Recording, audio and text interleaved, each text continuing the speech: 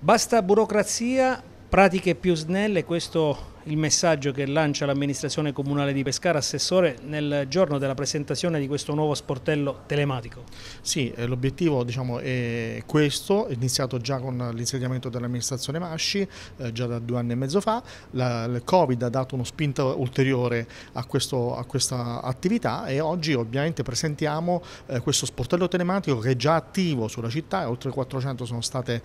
già le pratiche istruite e l'obiettivo è rendere comoda la, città, la la, vita ai cittadini di Pescara in modo da eh, abbassare quelle che sono le, le attese, diciamo in qualche modo le perdite di tempo e ridurre al minimo l'affluenza presso le sportelli. Questo va in un'ottica sicuramente di renderla comoda la vita, ma anche per rendere diciamo, meno, eh, più efficiente l'utilizzazione delle risorse umane interne che in questo modo saranno alleviate ovviamente dalla, dal, dal fatto di ricevere pratiche e di istruirle nel modo tradizionale. Questo vuole in qualche modo eh, rendere eh, la possibilità a tutti di presentare dalla pratica edilizia alla pratica di cambio di residenza attraverso questo sportello, attraverso un'identificazione univoca, univoca è quello dello SPID, cioè il riconoscimento digitale dell'identità digitale che sta prendendo piede e ha preso piede nella nostra, eh, nella nostra nazione sostanzialmente.